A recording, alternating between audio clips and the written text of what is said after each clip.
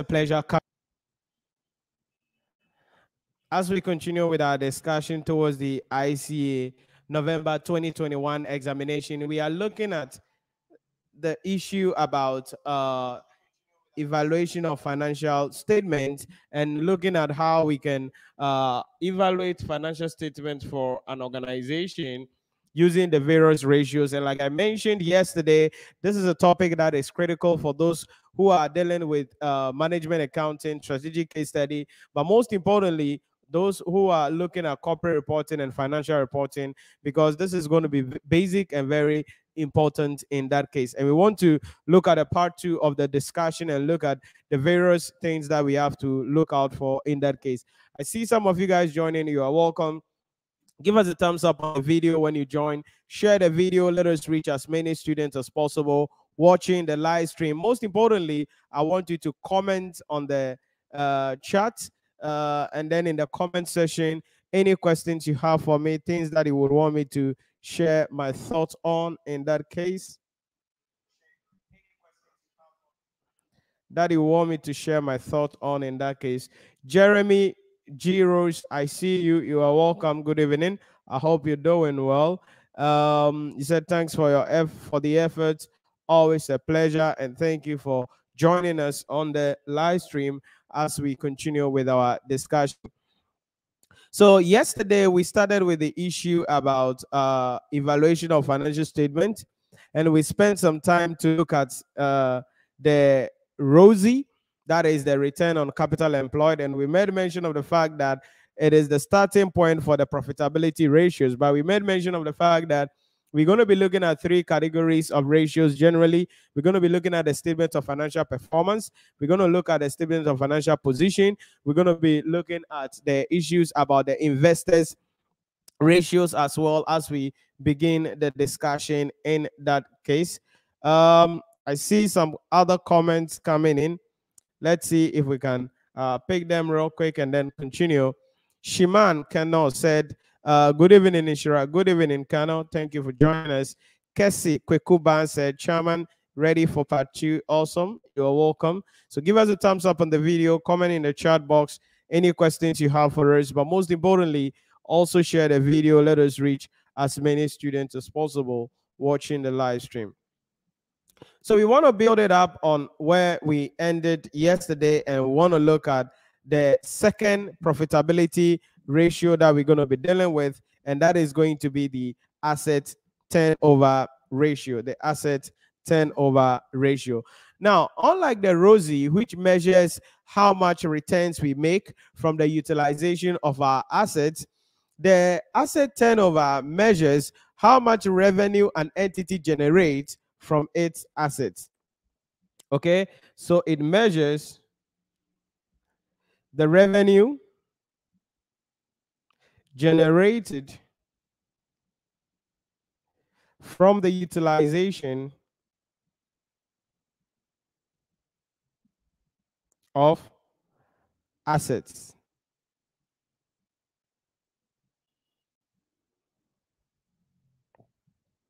From the utilization of assets. In other words, when we have an asset of say 100 million uh, dollars, how much revenue can we generate from that? Ideally, the higher this ratio, the better it is for the company. In other words, this ratio measures the efficiency and effectiveness of the entity's uh, assets within the organization. So the efficiency of the assets of the entity. So, how efficient are our assets? So, if we have assets as an organization, how efficient are the utilization of those assets? How much revenue that we are are we generating from the asset? Like I mentioned, ideally, the higher this ratio, the better it is for the entity. The reason is that a higher asset turnover, a higher asset turnover may indicate that the entity is generating more revenue from the utilization of an asset or from its asset. So it may indicate that the entity is generating more revenues from the assets or if you want capital employed.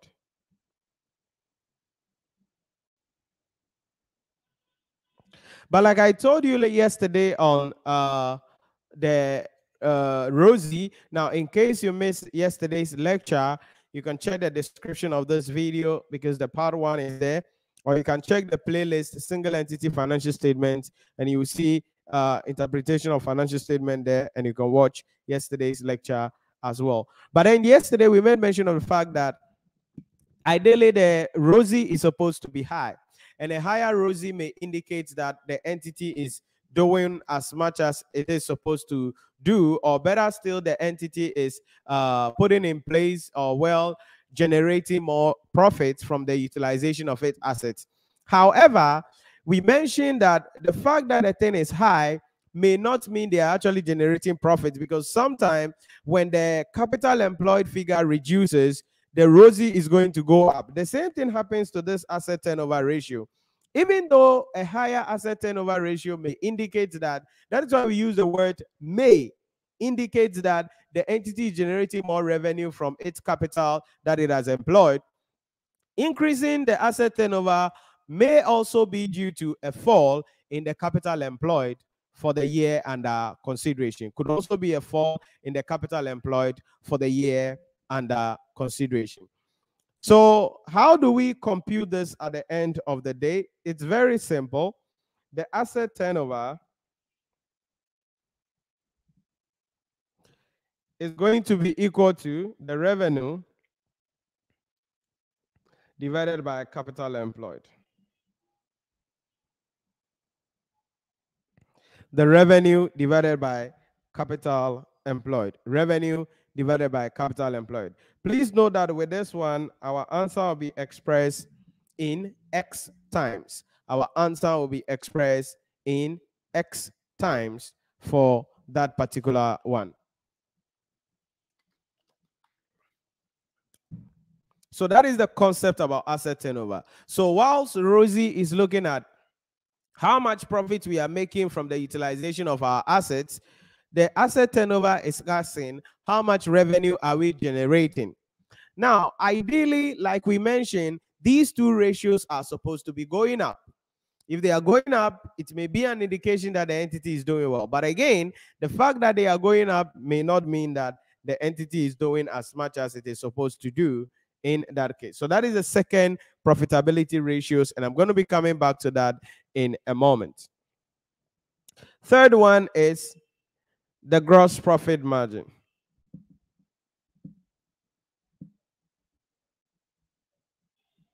The gross profit margin ratio. The gross profit margin ratio. Now, the gross profit margin ratio simply measures the returns that the entity is making from its sales for the period under consideration. The returns that the entity is making from the sales for the period under consideration, for its sales for the period under consideration.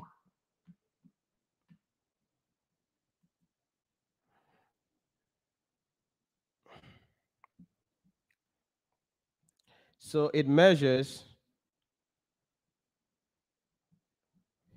the returns an entity makes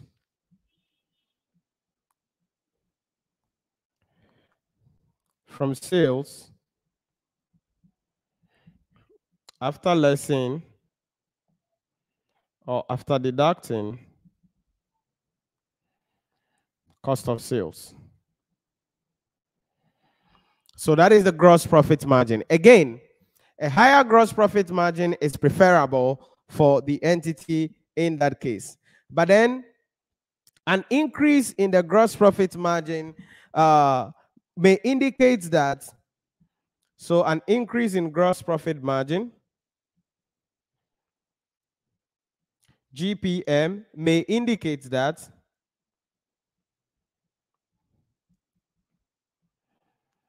may indicate that one, variable cost.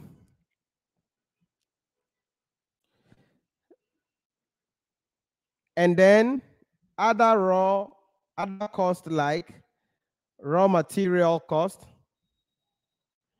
maybe labor cost among others are not rising as quickly as the selling price okay? Are not rising are not rising as quickly as the selling price. So when the uh, gross profit margin is going up, it's telling us that okay, probably the cost of sales. The now when we look at the cost of sales, they, they are going to be mostly variable costs coming in uh, generally, and this variable cost could be raw material costs, could be labor costs, meaning that they are not rising as much as the entity's uh, selling price are rising. That is why the gross profit margin is increasing for the period under consideration. For the period under consideration. However, there are times when this gross profit margin may be going up or maybe coming down. It could mean because the entity has maybe introduced uh, a new product. It could be because of introduction of a new product. Maybe the gross profit margin may also be going up because of the fact that the entity has reduced prices. So remember that from the uh, principles of economics, demand, when the prices of goods go down, all other things being equal, the quantity demanded what goes up. So maybe the reason why the gross profit margin is coming down is either we have introduced a new product or we have reduced selling prices, so we have sold more, so revenue is going up at the end of the day as an organization in that case. So when you talk about the gross profit margin, this is what we are saying. When you take your revenue and you deduct your cost of sales, how much returns are you making? Preferably, the higher the return, the better it is for the organization. The higher the returns, the better it is for the organization. So we say that a gross profit margin is going to be equal to the gross profit divided by the revenue times 100% or times 100 because our answer will be in X percent. Gross profit divided by revenue times 100. Gross profit divided by revenue times 100. That is very important very basic in that case. Now, I'm going to be coming back to this as well. Let's look at the last one, and that is going to be the net profit margin. Now, immediately we are talking about net profit. We are talking about after we are taking we take into consideration what Op, all operating what expenses. So it measures the returns an entity makes the returns an entity makes It measures the returns an entity makes from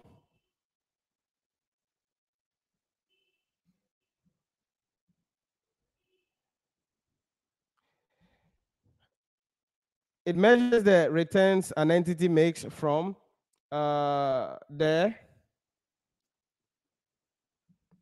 revenue after deducting all expenses, including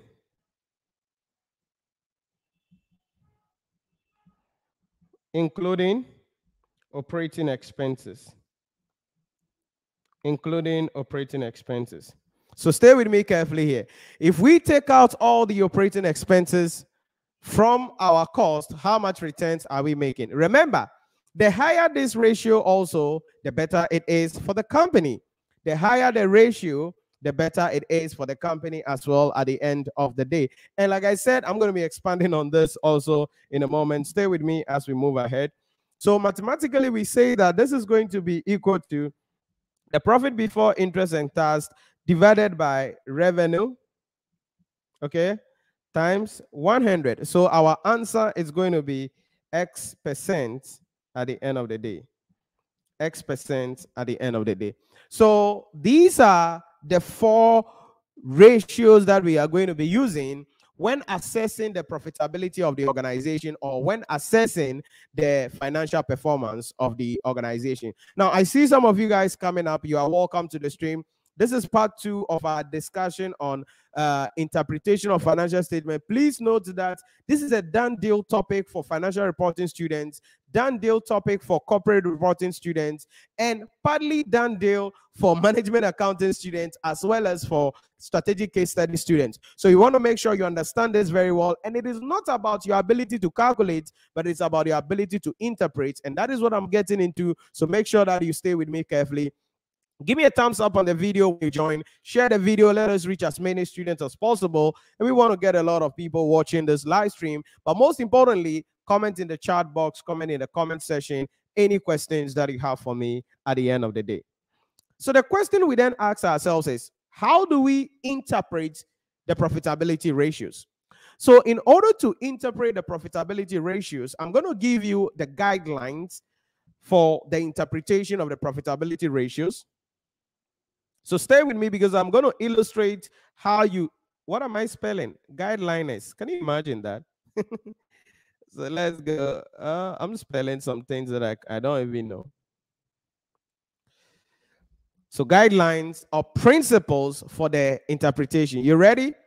Principles. So if the examiner says interpret the following ratios, how are you going to go about it? How are you going to go about it? That is what I want to give you. Now, for those of you especially writing corporate reporting, sometimes the examiner could be excited about it and we say, write a report. Or the examiner could be excited and we say, um, write to the shareholders. Or the examiner could just say, interpret a financial statement of the financial statement. So let's assume we are writing a report and we are supposed to assess the financial performance and financial position of the organization. How do we go about it? Stay with me because this is where the marks are going to be in that particular case. I see some comments coming in. Let me bring them up real quick and let's continue. Uh, Abdullah said, Thanks for this session. You are truly a man of impact. I have been following your classes on YouTube. That's awesome. Thank you very much uh, for your kind words. Um, Nashiru Daki said, Good evening, Nhyira. You are doing a great, a good job. Keep it up. Thank you, uh, Nashiru uh, Daki. Um, then Abdullah came and said, I'm currently writing final level of ICAN Nigeria. That is great. I hope that you are attending lectures because that is very critical there. Augustine A. Barton said, Hello. Hi, Augustine. Hope you're doing well. Jeremy Giro said, ICA sent a shout out to you today on the students encounter. I was like, yeah, that's my lecturer. Oh, okay, that's great to hear, uh, Jeremy. Thank you very much.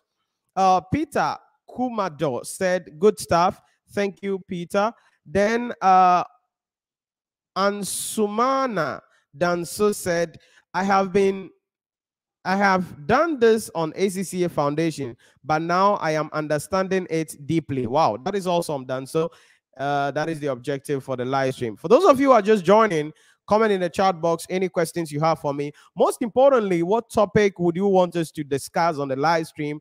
Uh, so comment in the chat box. We have a number of topics coming up, but just bring your own up and then let's see how we go about it. Stan Obi said, Hi, been a long time I saw your live lectures. Wow, we we we were live on Monday, we were live yesterday, and we are live today also. So we back. So make sure you connect every day, every weekday, 4:30 p.m. to um 4:30 p.m. as we continue with our discussion. Then uh, another comment is coming from Ariu said, "Hello, nice to be here again. Hi, Nhyira. Quite an age. Okay. I don't understand the quite an age. Are you saying it's been a long time since you heard from us or what? so let's go. Let me bring up my screen back and let's go. Now, this is the part of the lecture I want you to be serious about. So make sure you stay with me carefully here as I drop this up. So let's say we are writing a report on the evaluation of financial statement. Okay. So if you are writing a report, then definitely we need to have our two, our from, okay? We got to have our date coming up. And we're going to have our heading here. What is it about? Generally. So the to is the people to whom the report is being written. The from is you, the one writing it. The date to be the date on which you are writing the report. Then you bring the heading, analysis of financial statement. After that, there has to be an introduction. So we have our introductory paragraph here. Now, what you want to do in the introduction is to tell us what this uh, report is actually about. So you could say that this, just just a, that, just an example, okay. This is an evaluation, okay, of the financial performance and financial position of maybe the name of the company will come NP Limited, right? Uh, for the year ended whatever 31st October 20x2 using the profitability, liquidity, and gearing ratios. Okay? So something like this, clean. Okay, so your intro has to be clean, sweet, straight to the point, right? Now, this is very critical. If you screw up the introduction, you're going to screw up everything. So you got to make sure you you just keep the introduction. What you want to do in the introduction is to go straight to the point. What the heck is this report about?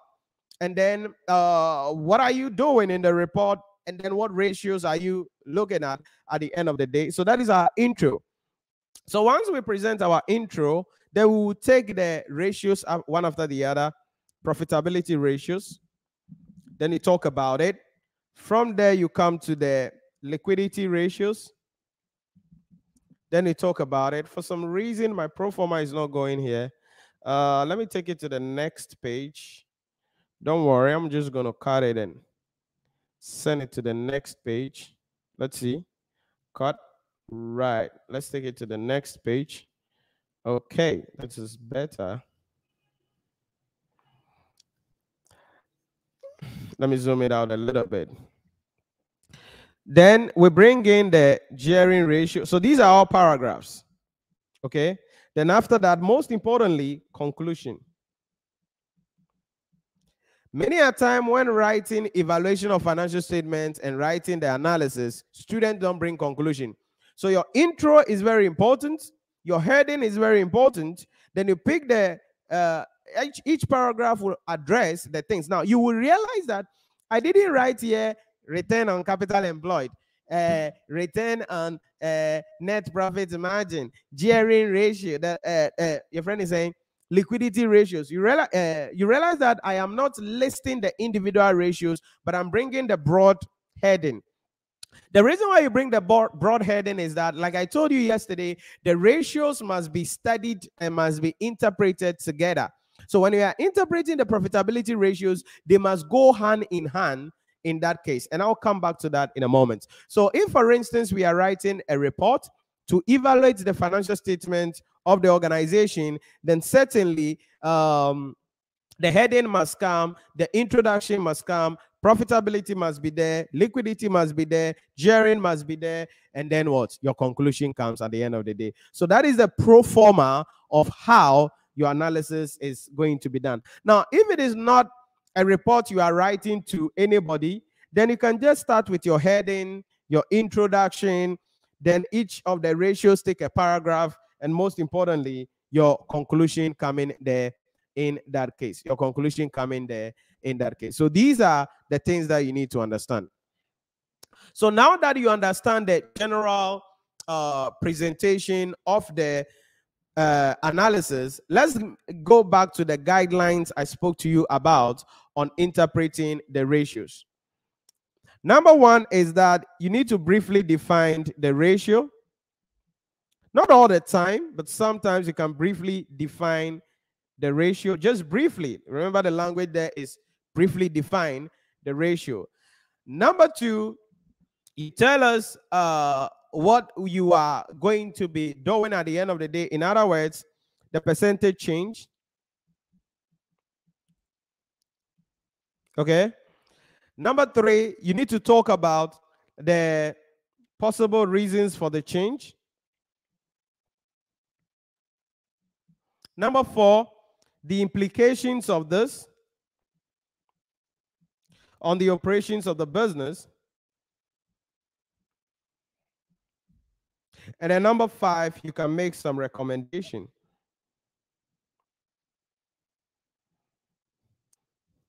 Now, stay with me carefully here. Usually, the implication and the recommendation will be done in the conclusion paragraph. Okay?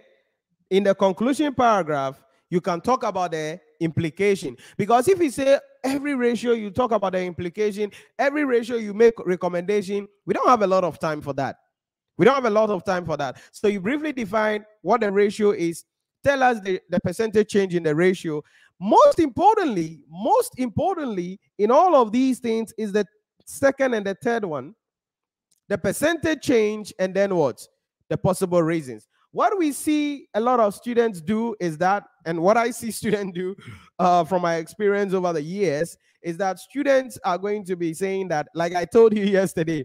So, for instance, we have 20x5, 20x6. Now, let's bring up some of the ratios. Let's say that ROCE is, uh, we cannot be excited too much, 15%, and then 25% coming up. Asset turnover, let's say it is uh, 15 times as compared to 12 times here. And then let's say that the net profit margin, it's also going to be something like maybe uh, 25%. And then uh, 22%, or let's say 30%. So if we have these ratios and we are interpreting these ratios now, some students will just get up and say, eh, the ROCE has gone up from 25%, from 12, 15% to 25%. And so what? And so what? That is not what we want you to do. That's not what you're supposed to do. So you don't just say, eh, the thing has gone up by this percentage. And so what? What are the possible reasons for the change? What are the possible reasons for the change? Very, very important. Very important. Now, the possible reasons for some of the changes are below. Now, sometimes they can be in the question and you can pick it up. Other times you may have to assume and use them in your interpretation. So, what are some of the possible reasons? One, it could be because of changes in revenue.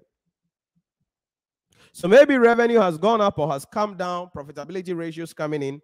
Two, it could be because of changes in pricing policies of the organization. Three, it could be because of changes in credit policy of the organization. Now, remember, I told you that the standards don't work alone. So stay with me because I'm going to drop some issues with you uh, in that particular case as we go ahead with this. Four, it could be because of changes in uh, cost of sales. Number five, it could be because of changes in operating costs. So when we talk about the possible reasons for the movement in the ratios, especially the profitability ratios, it could be because the revenue is changing. It could be because the pricing policy of the company has changed from the last year to this year. It could be because of the credit policy of the company changing. It could be because of the cost of sales has changed, or it could be because the operating expenses, uh, operating cost of the organization has changed. Now, how do we contextualize this? Stay with me carefully here. So let's say that this is the ratio the examiner has given me. Hypothetically, and I'm supposed to interpret this ratio here. I'm supposed to interpret this ratio here. So, how do we go about it? Now, because it is profitability ratios together, I, I, I need to look at them in not individually. Because if you look at them individually, you make a mistake. Let me show you what I mean by that. Look at the ROCE. The ROCE is going up. Okay, stay with me carefully here. And then look at the asset turnover. The asset turnover is coming down. Look at the net profit margin. It's also going up.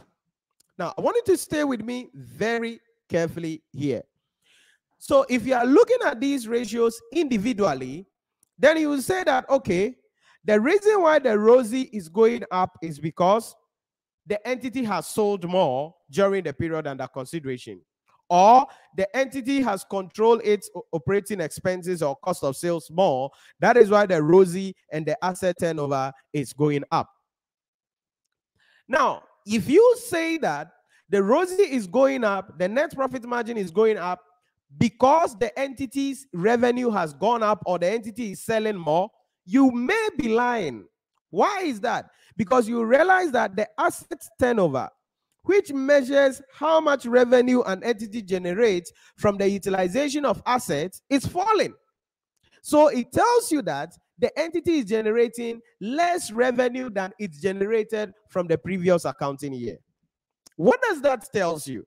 It tells you that the entity is not utilizing its assets efficiently, or better still, it could mean that the entity had um, put some assets somewhere that they are not utilizing at the end of the day. For that reason, the sales is not going up in the current period that it is expected to go up. However, if ROCE and the net profit margin are rising, this could mean that the entity is controlling its operating cost much better than uh, it controlled in the previous accounting year in that case. So that is what you need to understand when we talk about the issue in relation to the interpretation of these ratios.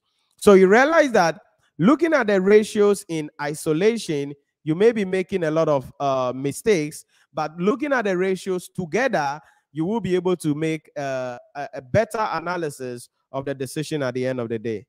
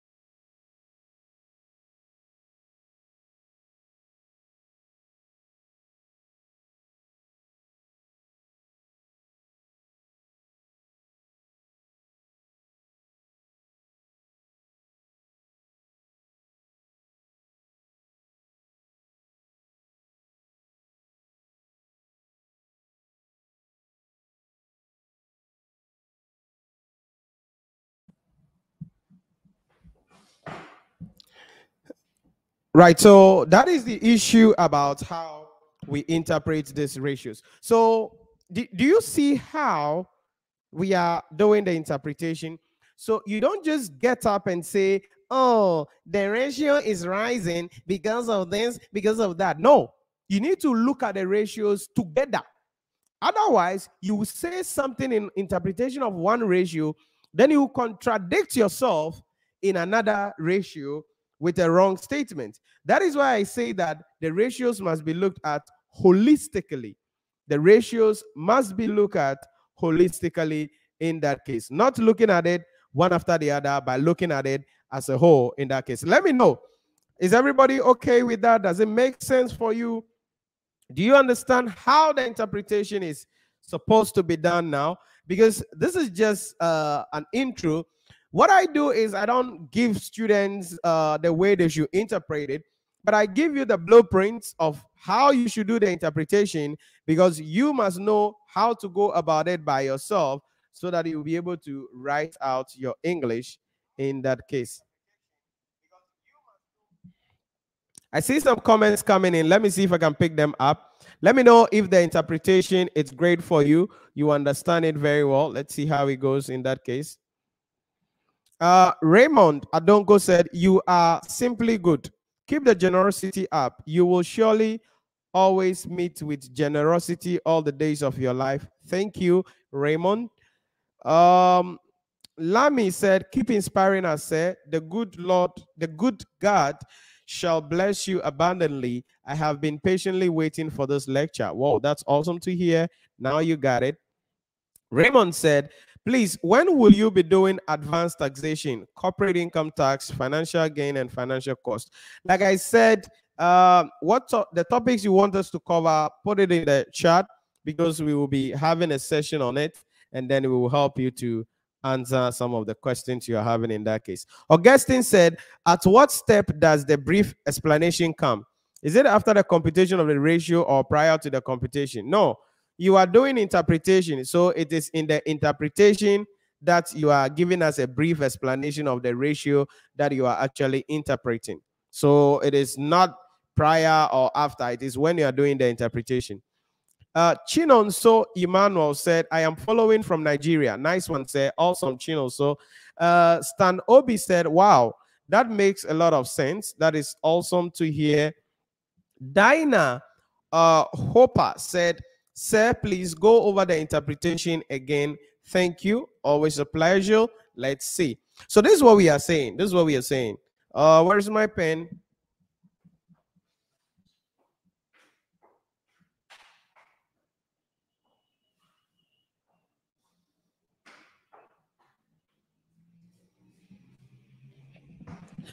So this is what we are saying about the interpretation. So if you look at the scenario we have here, if you look closely at the scenario we have here, we have the ROCE, uh, we have the asset turnover, we have the net profit margin. Now, looking at the ratios carefully, realize that the ROCE is going up, the net profit margin is going up, but the asset turnover is falling. So if you are doing the interpretation, you say, oh, the ROCE is rising. This could be because the entity's revenue has increased during the period under consideration. You are you may be lying why is that? Because the asset turnover, which measures the revenue generation capacity of the entity's asset, is falling. So it tells you that the reason why the ROCE is going up may not necessarily be because of revenue rising, because revenue is actually falling as compared to the previous year.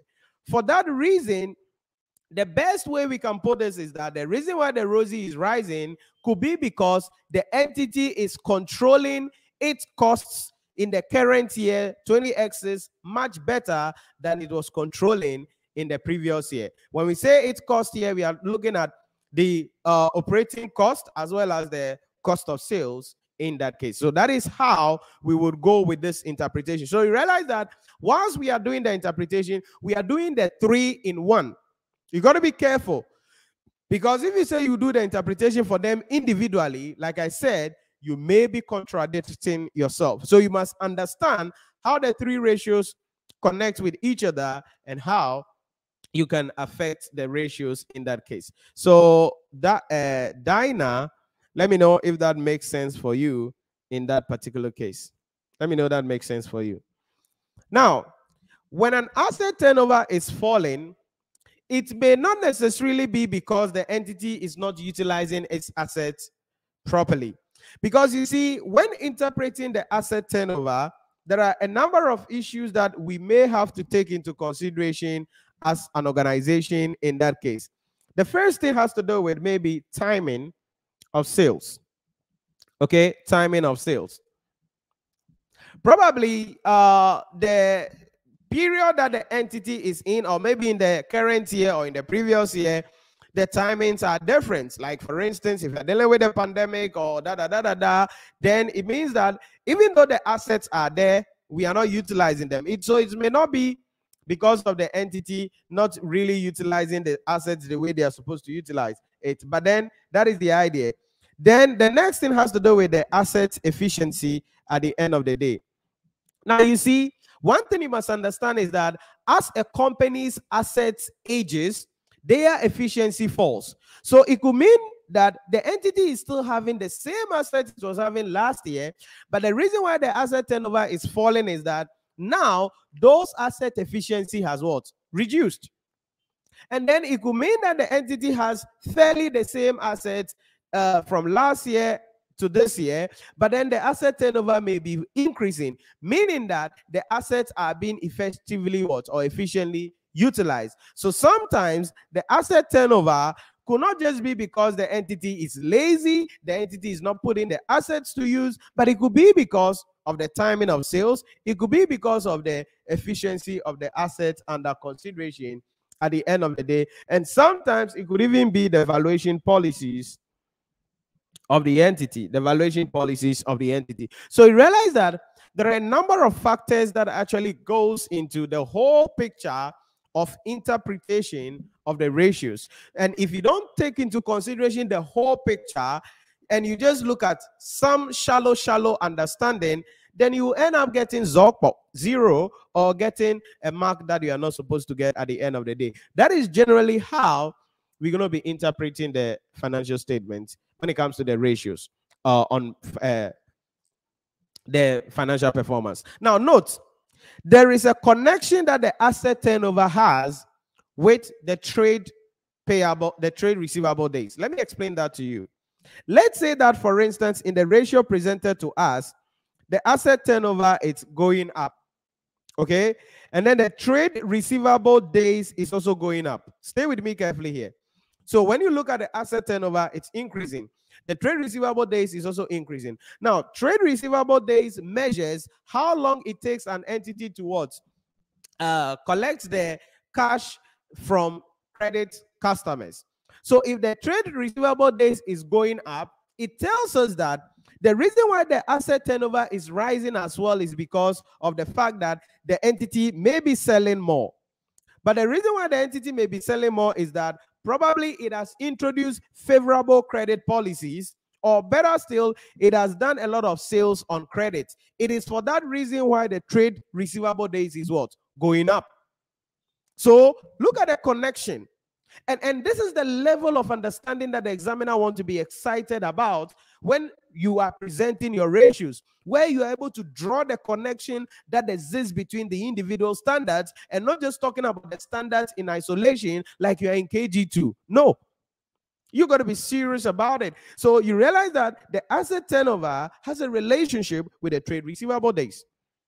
So if the trade receivable days is falling and the asset turnover is rising, then it could tell you that even though the entity may be selling more or it, it could suggest that the entity may be selling more in cash rather than on credits uh, at the end of the day. Or, like I said, it could be because the entity has disposed of some assets during the year or repaid some loan during the year. So their capital for the period actually reduces, but then comparatively to the revenue, it's coming up at the end of the day. And that is the connection that you draw about the interpretation of the financial statement. Any questions, please? Let me know. Any questions? Any questions? Any questions? Then we come to the statement of financial position. Financial position. So, in the financial position, there are about three broad ratios that we're going to be calculating, or two broad ratios, depending on where we are standing at. The first one is going to be the liquidity ratios. Then there is going to be the working capital ratios. Let's start with the liquidity ratios. Now, the liquidity ratio simply measures the entity's ability to pay short-term debt as and when they fall due. An entity's ability to pay short-term debt as and when they fall due. That is the liquidity at the end of the day. The liquidity at the end of the day. Now, when measuring the liquidity of a, of a company, there are a number of things that comes to being that we need to take into consideration and look at that at the end of the day in that case. Because remember, the liquidity and the working capital ratio gives us an idea about the working capital management techniques of the entity. Because remember, if an entity poorly manages its working capital, it affects its liquidity. If the entity has a, buys a lot of credits and uh, is cash uh, deficit, then the liquidity ratio is going to actually worsen at the end of the day. If the entity also sells a lot on credit, then it is likely to incur a lot in bad debt. If the entity has a lot of inventory in stocks in store, then the eh, entity may not be managing its inventories well. So you realize that the individual components of working capital, when we are looking at the statement of financial position, firstly, or first part of it is to analyze this particular aspect of it. So when it comes to the liquidity ratio, we have what is called the current ratio. And this is simply the ratio of the current assets divided by the current liabilities. So if we take the current asset that a company has and compare it with the current liability, what exactly are we supposed to have at the end of the day? Usually, what happens is that the current ratio should be greater than 1. Ideally, it should be above 1.5. Okay, it should be greater than 1. Ideally, it should be above 1.5. If it is 1.5, it tells us that, oh, in the short term, the entity will be able to pay its debt as and when they fall due from the current assets. But you see, the current ratio doesn't give us a, a great picture when it comes to dealing with really the liquidity position of the company. Why? Because this current asset you see here actually includes inventory. The current asset actually includes inventory. So the ratio that provides us with a better understanding of the liquidity position of the organization is what is called the quick ratio. Another name for that is the acid test ratio. The way this works is that we're going to take the current ratio and we deduct the inventory that the entity has divided by the current liabilities. Sorry, we take the current assets, not the current ratio. Current assets minus the inventory divided by current liabilities. Now, how is that? Stay with me carefully here. Why is the inventory taken out? Because you see, in the short term, it is difficult to what? Sell inventories. In the short term, it is difficult to convert inventory into cash. So the quick ratio tries to measure the most liquid assets of the entity. Okay, the most liquid assets of the entity. In other words, which assets can quickly be converted into cash as compared to the amount we owe in the short term at the end of the day. So again, when this ratio is going up, it is an indication that the entity is managing its liquidity position very well. But if it is falling, it is an indication that the entity is not managing its working capital well. But you must stay with me carefully here because even though we have stated that the ratio should be greater than one, uh, in that case, if it is falling, you don't just say, oh, it is still good. So let's say that you have 20x5, 20x6, and let's say that you have the quick ratio coming in. quick ratio coming in, and let's say that a quick ratio coming in, it's let's say um 1.3 here, okay, and then let's say it was 1.9 here. Now it's falling. Sorry, uh, I don't want to do this. Let's do 1.9 here and 1.3 here. So realize that if you compare 20x5 to 20x6, the liquidity ratio is falling. Now, even though it's falling, it is still greater than one. Now, if you just say, oh, even though it is falling, it is still greater than one, it means the company has no liquidity problem, you may be lying.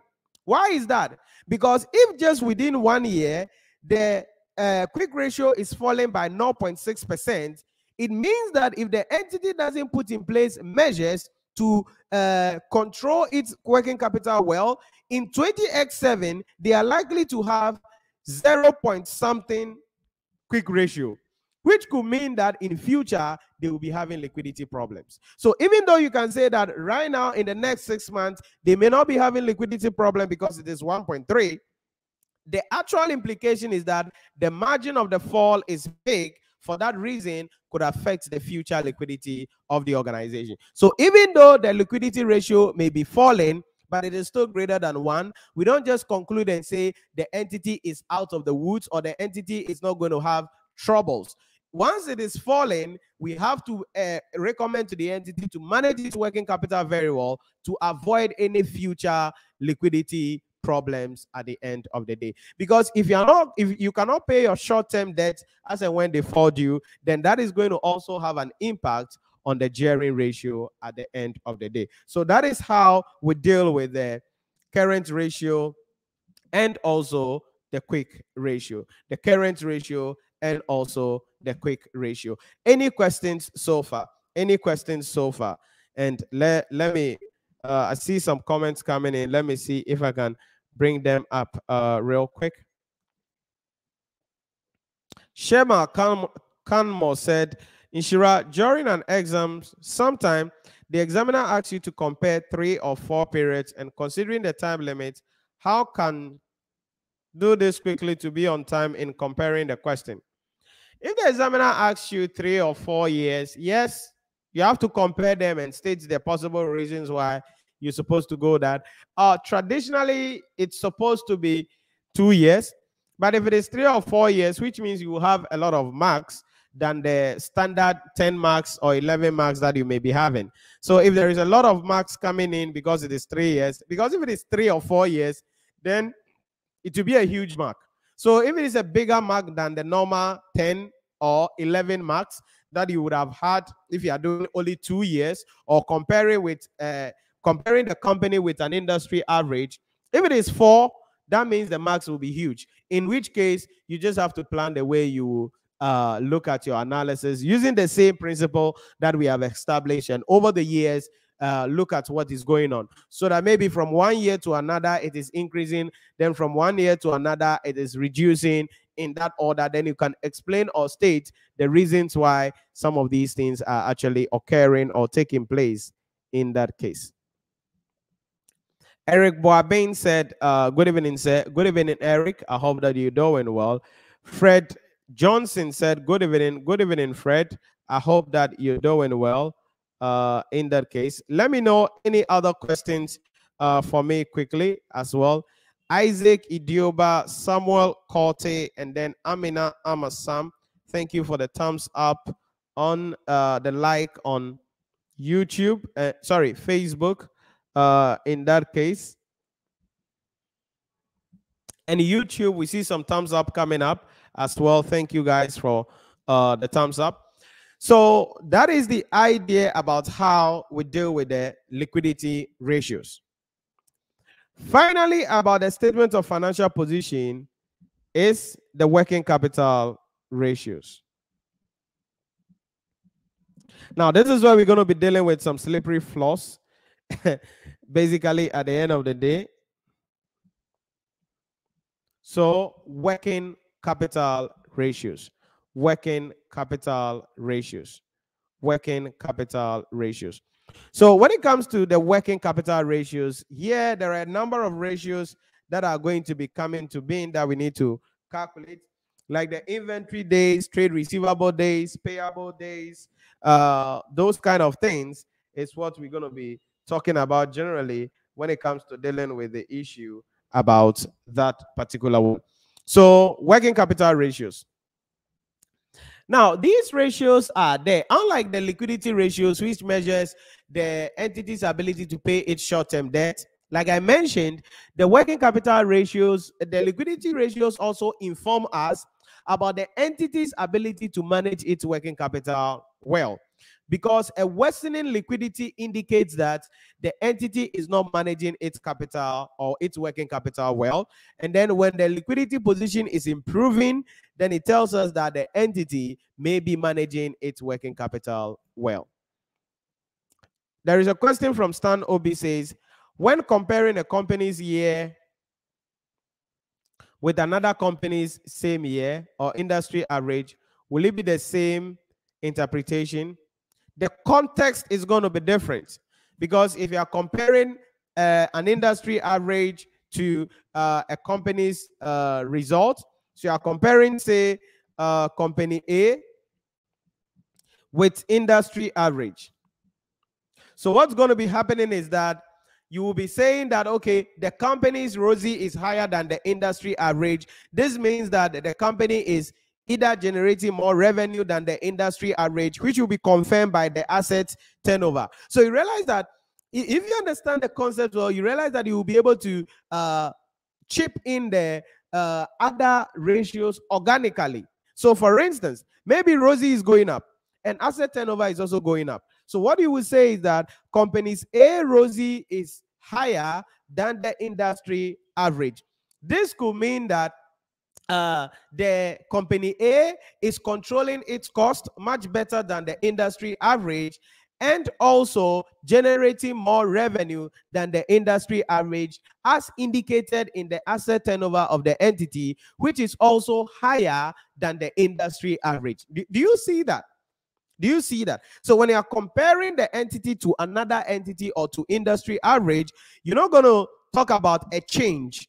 You're going to talk about whether this is higher, this is lower, and why you think, based on the deeper understanding that you have on the uh, ratios that you are presented with, how those ratios are going to be subject to change at the end of the day. And that is what you need to understand about what you do when you are comparing a company with another company or an industry average. So, in principle, you're going to be talking about the same things, only that you are going to be careful about your choices of words. So, unlike, oh, it is rising, it is reducing, because you are comparing two companies, you will say this is higher than this, this is lower than this, and it could be because of the company does this and the industry doesn't do this, or that other company doesn't do this in that case. So Stan Obi, that is how we do the interpretation for that. That is how we do the interpretation for that.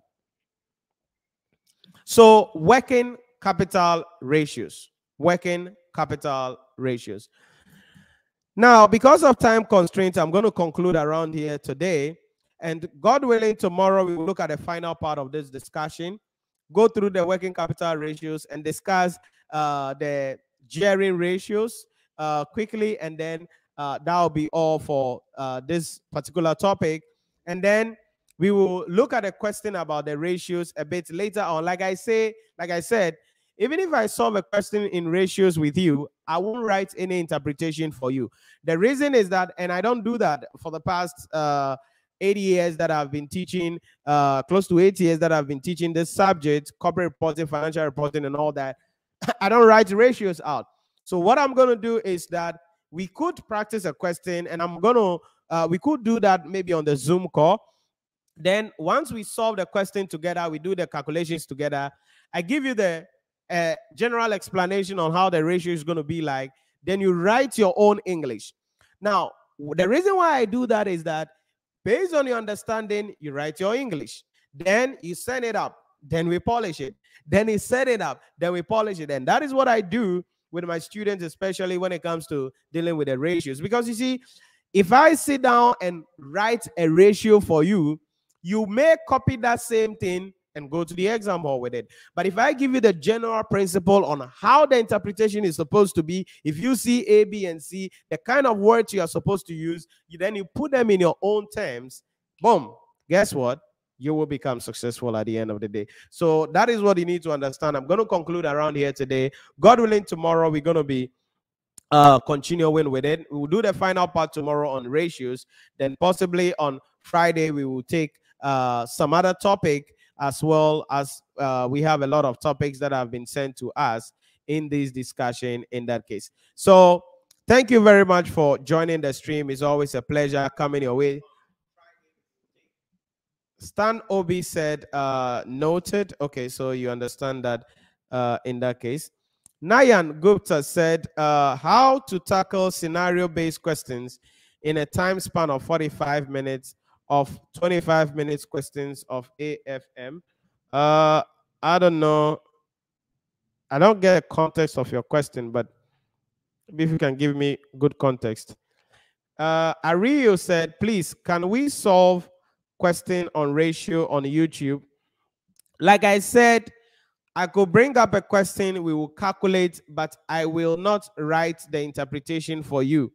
So, if anything, we would uh, arrange that session on a Zoom, not on YouTube, so that like you finish writing, you send it up, I look at, correct, da da da da da. So we will see if uh, that could be possible for us to hold and uh, how we can go hold that up. Because when it comes to ratios, I don't write for. I wouldn't want to write to you the interpretation, then you copy it and put it down. I mean, to me, that is that is that is not good. I mean that that that that, that doesn't make you think uh, well for yourself as an individual. But if you understand the general principle, you write your own English, send it up to me. Then I tell you, okay, you're supposed to put this here. You're supposed to put this here. This language is very wrong. The grammar here is a problem. It's a problem. The explanation you did here contradicts with what you say here. Then we solve it. so that is how you can better be prepared for the exams and not me writing the interpretation down for you then you copy it and memorize it nah, nah, nah, nah. to me that is laziness so i ain't gonna do that but we could solve a question and that will be live on zoom and then we can see how we will go about that sandra Hey, I said Sandra. Sandra is going to kill me. Sandra Kluche said, God bless you, Nhyira. God bless you to Sandra for joining us. Dinah Hopper said, Thank you for today. Always a pleasure, Dinah. Thanks for joining us. Francisca Cujo on Facebook said, Please, I would like to get some insights on IFRS 15 and IAS 9 financial instruments. I don't know what you mean by insight you want to have, but uh, if you ask a specific question, I could look at that uh, for you possibly tomorrow on the live stream. Nayan Guptan said, ACCA AFM question of 25 marker, ACCA question. How to tackle scenario-based question in a time of 45 minutes. I can't able to understand scenario fully, so I can't perform well. How, okay. Uh, join on the live stream tomorrow early. And uh, early tomorrow, I'll do some Q&A before uh, we finish with the ratio. So uh, bring this up as well tomorrow, and I'll look at it because I'm uh, backed in time that I cannot look at it anymore. Eric Barbain said, thanks. Uh, Obi said, thanks a lot. Always a pleasure. So thank you very much. For those of you who shared the video, God bless you. It's really something that we uh, look for. It's something that helps us a lot because the more you share the video, the more you engage with the video, the more people look at the video, the more we are able to assist a lot of students. Remember, like what I'm teaching here on the ratios is a done deal for financial reporting. It's a done deal for corporate reporting. So if I'm going into the exam or, or you know somebody going to write these papers, then what's going to be happening is that uh, you need to make sure that that person gets this video, watch this video and over and over again, and get a principle in that case. So that is it about that. Thank you very much for joining the stream. It's always a pleasure coming your way and assisting you to prepare well for the exam. I'll catch you same time tomorrow on uh, the discussion as we continue in that particular case. Note that for those of you writing public sector accounting and finance, we still have some copies of our public sector accounting and finance book. You can get it at 120 uh, Ghana cedis. Then, for those of you writing principles of taxation and advanced taxation, you can also get copies of our taxation book. And uh, you call the number scrolling below the screen 050